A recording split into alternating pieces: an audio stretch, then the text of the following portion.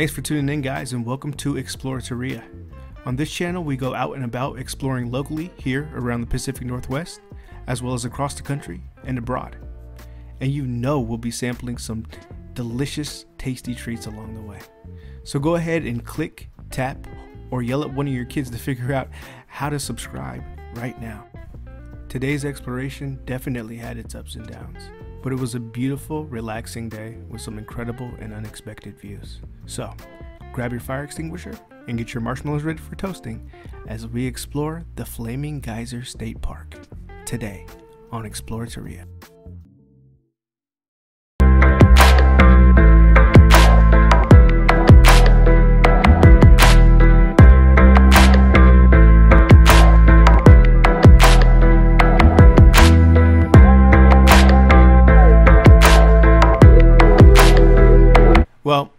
Okay, maybe you won't need your marshmallows. But stick with me regardless, this was a fun park. Entering the park, you come across this interesting looking bridge. It's a nice place for a photo op if you're into that. Quick reminder like all state parks, you'll need a Discover Pass to enter and park your car. If you don't already have one, you can purchase one from the booth at the entrance. You can buy a day pass, or if you're like me and plan on visiting parks often throughout the year, you can get a yearly pass. The yearly ran me 30 bucks and is good for use on two cars, individually, not at the same time. Once you enter the park, there's a cool little area where remote control planes are flown. Sadly, we didn't get to see any during our trip. The main part of the park is located maybe about a mile or so in. Here they have a play area for the kids and picnic areas. Some of these areas have grills and can seat up to 50 people. My daughter loved this part of the park. She spread her wings and ran all over these wide open spaces. They also have an entrance to the Green River here.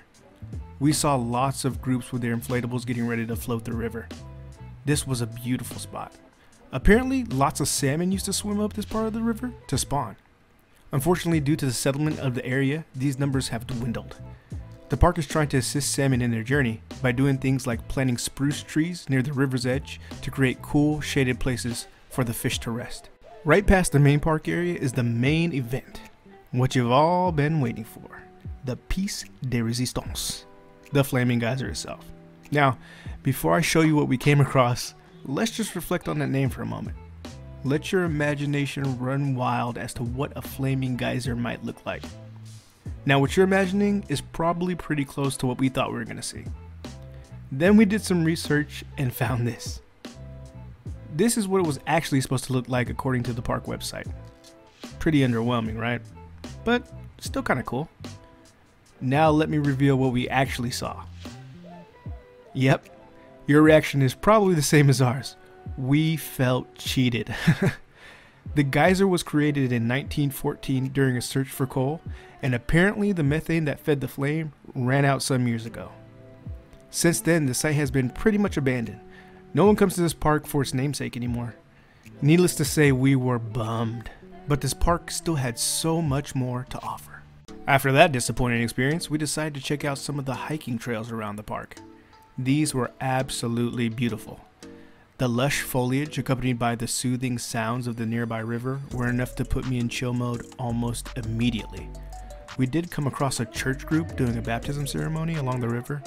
That was a first for me, and the loudspeaker kind of harshed my mellow, but that was only a small portion of one of the trails. I've lived in a lot of places, across the US and abroad, but for me, the Pacific Northwest has to be the most beautiful.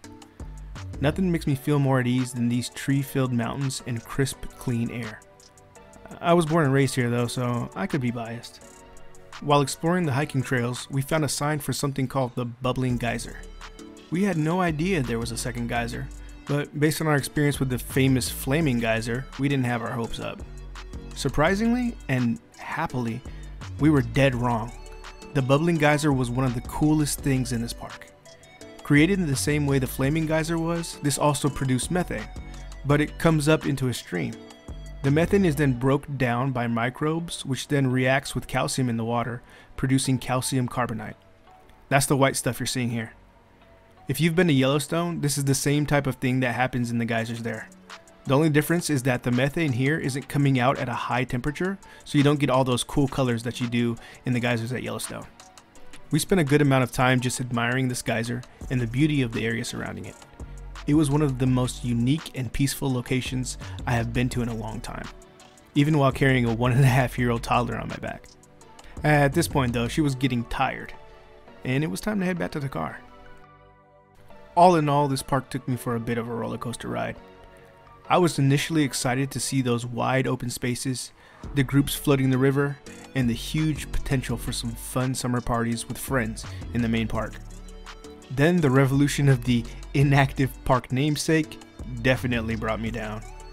But the beauty and tranquility of the trails and the downright cool factor of that bubbling geyser turned it all around again.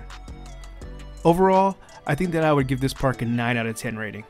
The potential for fun in the river, parties during the summer, and being able to get lost in the beauty of nature made this a great park. My family and I will definitely be back, even if only for a picnic by the river. So, if you're ever in the area, I highly recommend checking out Flaming Geyser State Park. At least once. I think there's something here for everyone. Thanks for watching guys, and if you liked the video, please give us a thumbs up. If you're interested in catching the next one, that subscribe button is still there waiting for some love. Also, feel free to let us know in the comments what you thought about the park, what kind of videos you'd like to see in the future, or just say hi. Until next time, stay curious and stay hungry. Okay, bye!